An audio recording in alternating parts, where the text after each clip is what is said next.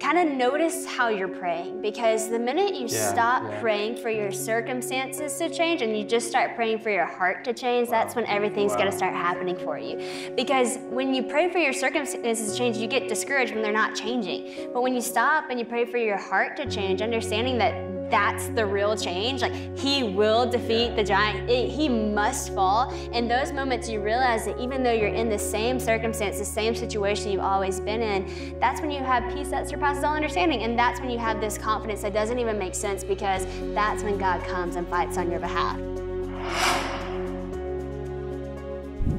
And I think a lot of people would look at you like often happens in life and say, man, she has got it all together, this girl. But you've actually overcome quite a bit to be sitting on this stage with me tonight. Yeah. Well, that's actually really, I'm glad you said that because I feel like some people think that like you're going to get to this point in life or this place or I don't know, a certain job may exclude you from having the problems that everybody deals with. And that's just not true. And I think that's a trick of the enemy because he puts this like destination inside. It's like, oh, if you could just get there, then you would, you know, be free from this. Then you wouldn't fear, then you wouldn't be insecure, then you wouldn't have problems. And then you get there and you're like, wait, why do I still have problems? Why am I so afraid? Why am I so insecure? Because truly, nobody's excluded from the ways of this world. We're all in it. But obviously, our hope is in Jesus, and that's what makes the biggest difference. And I think for me, it was kind of that way. It's like being in this, it wasn't that any fear was gone, it wasn't any insecurity was gone. It almost felt like that doubled and then tripled and then got worse because of that idea that you're actually going to get somewhere to free it instead of just recognizing that Jesus is actually going to meet you where you're at and free you in the middle of Amazing. it. And I think for me, it's ironic because the time of Dancing with the Stars, honestly, we're getting real, real fast. That was like the hardest. Um, that was probably the lowest part of my journey, especially with fear. I remember, um, and I really don't share this in detail that much, but to be completely honest, um, the night that they called me to be on the show, you would think you'd be like, "Woo, I'm going to Dance with the Stars." That is not what I looked like. I was like freaking out, not just like minor freak out, like major freak out. Like I remember I was driving in my car and I was going to Mary Kate, who is my sister-in-law now. She was my friend at the time. She was dating John Luke. She's still my friend, but we were just friends. And she had just started dating my brother. It was all weird, and I was like on my way to her house because I needed like my friends at this point. I was freaking out and I started driving. I mean, just start shaking, like just total fear, like invasion. Start crying. I literally got to the point where I like threw up, which is disgusting. But that is like what fear can like get. You can get to that point of fear where it's so real. It is like all over you and it literally just makes you just freak out. And I remember I got there and I was so embarrassed that I had been like at this place of so afraid that I was like, I'm not going in that house. I'm just gonna like circle it, U turn, go back home. And I remember when I was in the driveway, I quickly got out and I was gonna go back home. And my brother, John Luke, comes running out of the house because he had been waiting outside on the porch for me, just recognizing that I wasn't there yet. And he came and he starts knocking on my window, and I'm like, nope, you're not getting in this car. Like, I'm not about to show you what I look like right now. And I was just so embarrassed. And he jumped on the top of my car. No joke, what a brother, right? He jumps on the top of my car, and I just started driving around with him on the top of my car. I thought, I'm not opening this door. So for 30 minutes, not being dramatic at all, 30 minutes, I drive around the neighborhood with him at the top of my car. Every now and then, I'll just hear a little knock. You gonna let me in? Nope. I keep driving. And eventually, of course, I get out of the car, and he just sat with me, and he just heard me out for like um, hours and we talked and we prayed and we just talked about what this is going to look like. And I think that that was such a great picture, a horrible picture, but a great picture of what fear can get you to the point of, where you're totally not yourself. You're totally freaking out, even when it's an amazing opportunity, an amazing moment that God's literally placed in front of you. But the enemy somehow sneaked in and like whispered these things of lies and why you should be afraid or why you shouldn't do it. Then you get afraid and then you're embarrassed that you're afraid. So then you hide and you like make sure nobody in your life can actually see what you're going through. And the minute I opened that car door and talked to him, it was like things began to really shift because he could see truth. Because fear will blind you into this weird spot. And he just began to like shine a light on truth. And at that time, my mom called me and she said, like, the most crucial thing. She was talking about one of her friends who had called her and said, just in case any of y'all are de- dealing with fear, which don't you love how the Holy Spirit works? He's like, let me just fix this. He's like, just in case any of y'all are dealing with fear, I just want you to know you have nothing to be afraid of. Actually, they should be the ones afraid because of who God is inside of her that's going to go to Hollywood and do this thing. And it totally just flipped everything for me in that moment. Of course, didn't like automatically magically happen. It was a process and it was like yeah. continuing to like break through break through break through. For me it wasn't one night poof i'm like good. It was literally this journey of walking out with god and time after time after time every monday night that show happened it was just that confident trust of seeing god okay you did it here you're going to do it again. You did it here you're going to do it again. And then recognizing and realizing that the place fear is there fear is conquered. And so time and time again of being in that place like david and goliath and then seeing that giant fall, you're like, I can do it again because my God yeah. was faithful then, He'll continue to be faithful. And that's the main thing that's gonna break fear. To me, it just, it has to be faith. And people, I've had conversation with people all the time at my age, they're like, yeah, but what if you don't believe in God? And I'm like, well, honestly, I don't know how to speak to that because for me, for three years, I tried every coping mechanism you can do, mm. but not until yeah. I just chose yeah. faith did my amazing. fear leave. And you know, so, it's so amazing that uh, the Bible. Uh, they, they've said this, but unless you're in that place, it doesn't mean as much. But 365 times in the Bible, it says, Fear not. Mm-hmm. God knew that we were going to fear. So for yeah. us to fear, it's not abnormal. Mm-hmm. It seems like it's normal for a human being yep. to be afraid. God knew that about us. And so he's encouraging us time after time after yeah. time to fear not. And that's what we're talking about uh, on this program tonight. We're talking about what some say 50 million people in America are struggling with, and that's anxiety. And anxiety has its cousins depression, fear, worry, doubt, dread. There's a whole army or a host of friends that come along with fear. But the root of it, I think, is our confidence and our trust in yes. who God is. And so, how you said it's a process, and I'm glad you said that mm-hmm. because some of you watching tonight, you know there, you already know there's not a simple answer. Yeah. There's not a one size fits all band aid for all depression, all anxiety. It's all different, and it comes in different forms at different times, but it's a process. Yep. And it was for me in my life struggling with anxiety. It's a process for you. Talk about the process, process. that yes, you went through. The process. Well, for me, really what shifted and what helped me so much in the process is when I read Psalms 46. And if you haven't read that in a while, I encourage you to go back and read it. Because when I read that, I realized something. It's that it's sometimes we think, I think maybe this is a 20 year old thinking, but a lot of young people think like, oh, well, to be fearless, that means that like nothing scary is gonna happen, right? Like we're gonna be fearless and it's just gonna be okay and that's how we're supposed to live. But that's like not the promise and that's right. not true. It doesn't mean that God's promising that nothing's gonna be scary. It's that when those things happen, when that situation comes up, that we have the ability and the authority in Christ Jesus that we get to be still and just know that He's God and that He's got it. Amazing. And in Psalms 46, it talks about even when the oceans roar and foam, even when the mountains crumble into the heart of the sea, yeah. even when the nations are in chaos and in uproar So this is stuff that we all see happen all the time, and this is the very things that make us afraid.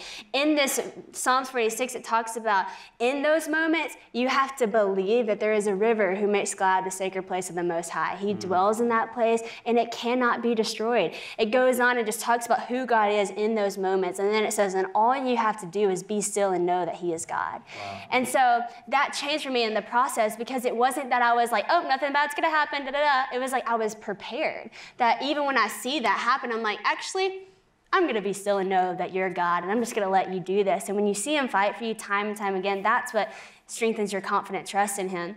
And in uh, Psalms 91, that obviously is one that many people read over themselves. And I heard my grandma read that over me a lot, heard my mom speak that over me a lot, but I was just um, actually reading it back there because I read it most times before I speak. And I loved what it said. It was talking about how, like, it goes through like how God is our refuge and our strength, you know.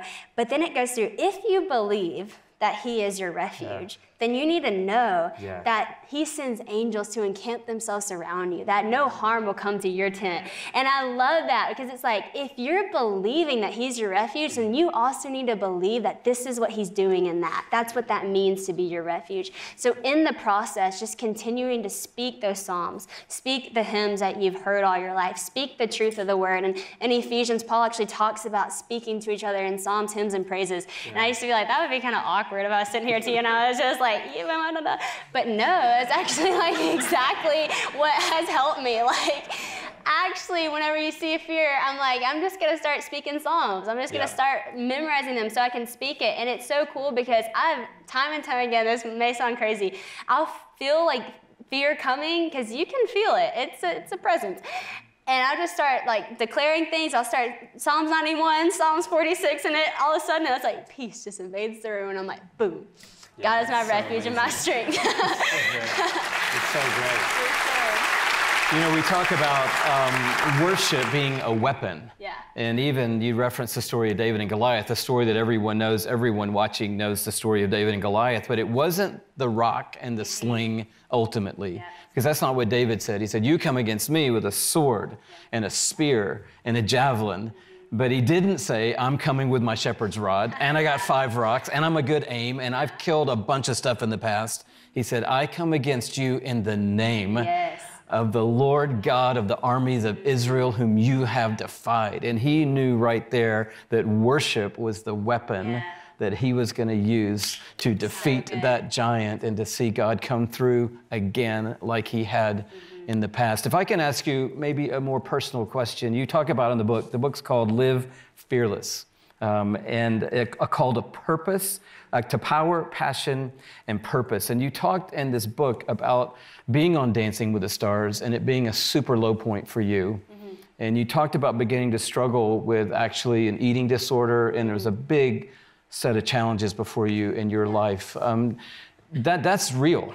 And I think people would look at you and, and, and they would say, Sadie Robertson doesn't struggle with anything. Look at her, she's successful and amazing. And your life changed overnight when you were on Dancing with the Stars. You became a celebrity overnight. People know you everywhere now that you go because of that. But here you were in the pit, Yeah. like face up against a real enemy. Yeah, absolutely. I think that for me, what I realized, and this is the danger of fear, there's a lot of dangers of fear, but one of them is that it's a snowball effect. It doesn't stop there. Like, I think when I became afraid, that also tagged on to being insecure because it takes your confidence, and then you're not secure anymore in who you are, and you're afraid of what people think about you. So then you try to like polish yourself to be this image that you think that they want to see but that's really not who you are. Then you feel like a hypocrite. Who am i?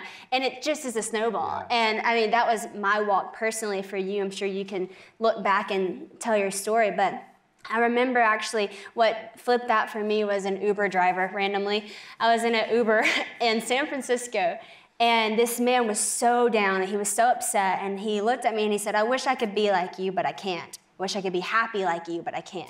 And I said, Why? And he said, Because I'm the emptiest person that you'll ever meet. And I was like, Whoa. Um, and I just kind of asked him where that was coming from. And he said, Well, I always thought if I had this much amount of money, then I would be happy. And then I would go back home and I'd be with my family. But I moved out here to San Francisco. Now I'm driving Uber, but I have the most money I've ever thought I would have, but I'm emptier than I've ever been.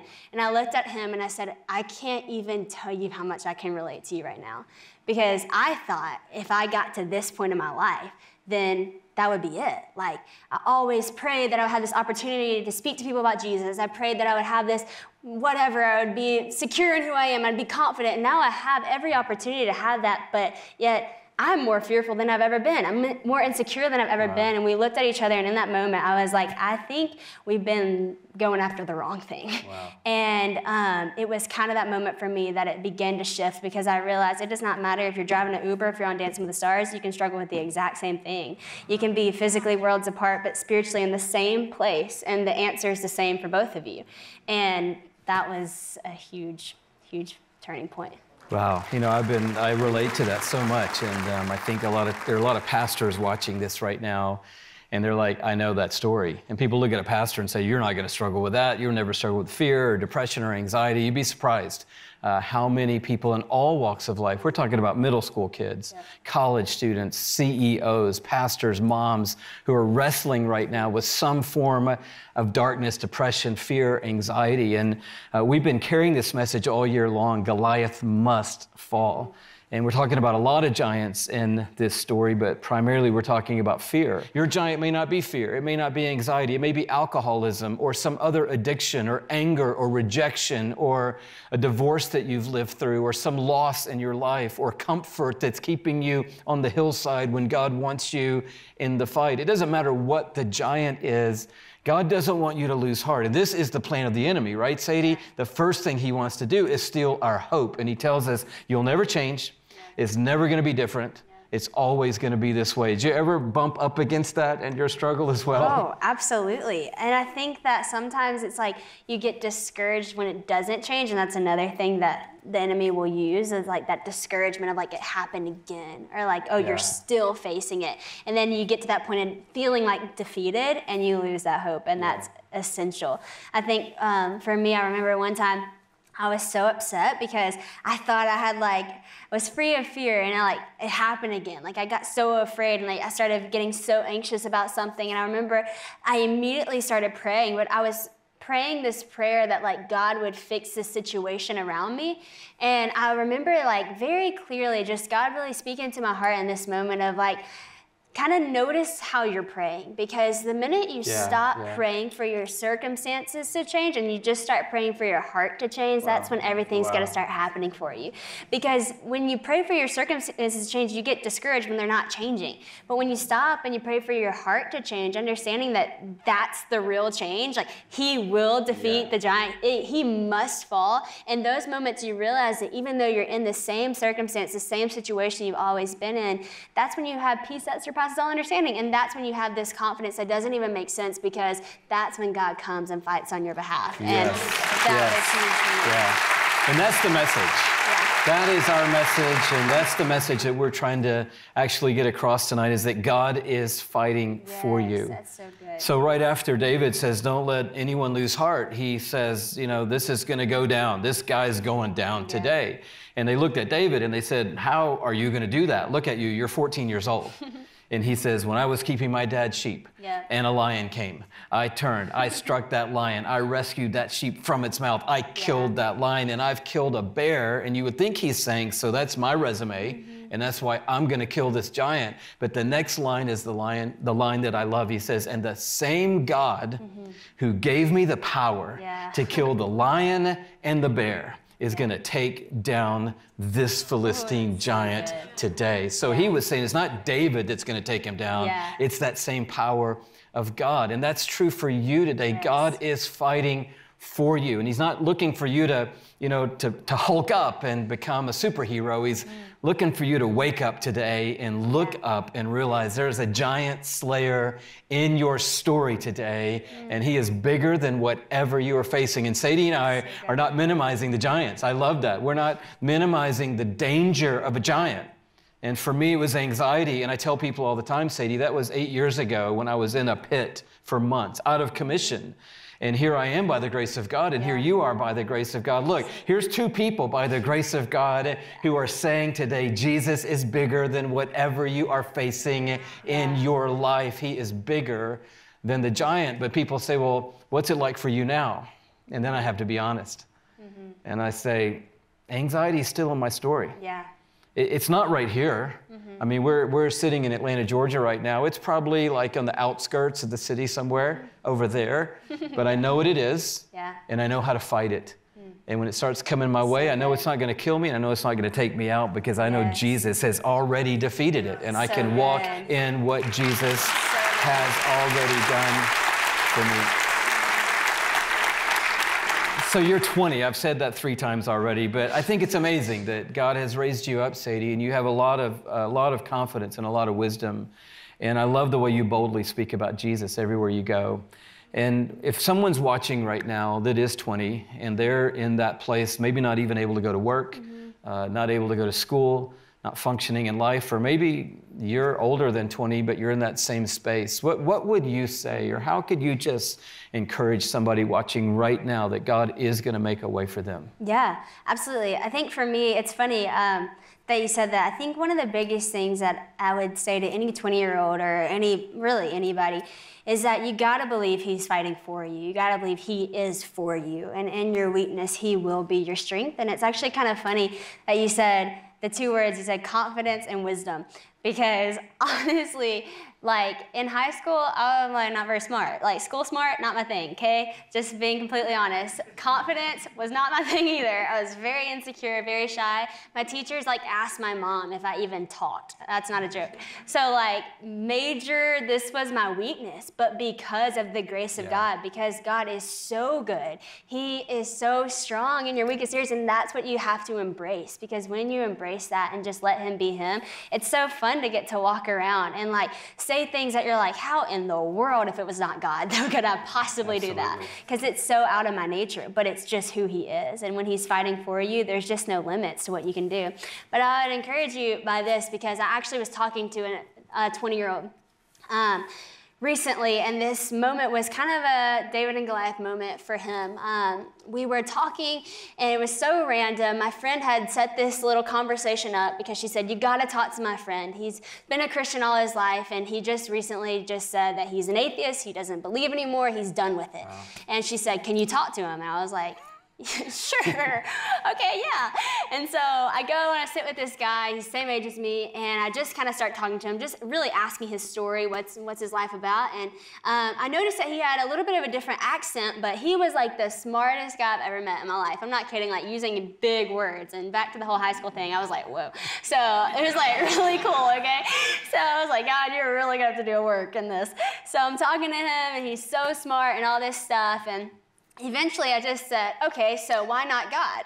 And he goes, well, you know, honestly, I'm, I'm mad. He said, I'm mad at God. He said, because you know, my whole life I grew up and I was deaf. I couldn't hear at all. And I would just pray for this miracle to happen. I just thought if I could just hear, then it would all be fine. He said, then I got my miracle and I had this surgery and I can hear now.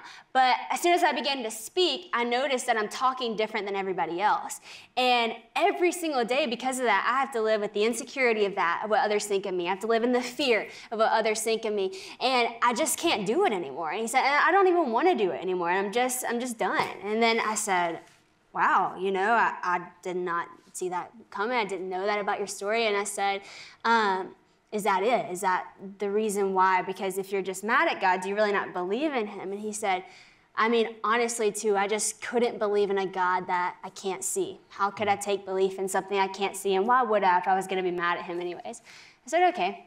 And I sat there and immediately it just hit me because this whole time I've been sitting here talking to this guy and I'm thinking like he's so smart. His words are clearly his strength, his way that he talks. And I said, mm. isn't it interesting that I'm sitting here this whole time hearing how smart you are and thinking your words are your strength and you, you say that your speech is your weakness. Wow. Interesting fact. Then we kind of start talking about that and then I say, and didn't you say that you're afraid every day of your life? He said, Yeah. I said, Do you know that the definition of fear is taking belief that something is a threat towards you? So you're taking belief in something you can't see every day. Wow. But what you're doing right now is choosing to, one, believe in something you can't see, but you're choosing fear. And in return, you're getting insecure and you're having to struggle with something wow. that was actually always intended to be your strength, but now the enemy's put on that your weakness. But if you would just choose faith, your whole story changes. If you just choose to believe in God, the same thing that you cannot see, wow. then you're all of a sudden confident in something that the enemy put on you as your weakness, but it's actually your weapon of strength. And it was just this moment that he was just like, and I was actually kind of like, wow. And we sat there and I was like, isn't that something that the enemy will put something in your face and define to you as your weakness all your life? And you'll believe it and you'll sit in it and you'll be afraid. But the minute you just say, no, not my God, He is so much bigger and yeah. He will be my strength and my weakness. All of a sudden you get up and the very thing that's been holding you back all your life is now the very thing that you talk about, that you're confident about. Look at Live Fearless. That's the thing that held me in a pit for three years. Now it's the very thing I talk about to people all over the world. That is who our God is, and that's what He wants to do in your life. All you got to do is choose to believe in faith over believing in fear. So great. And it just So changed my great. life.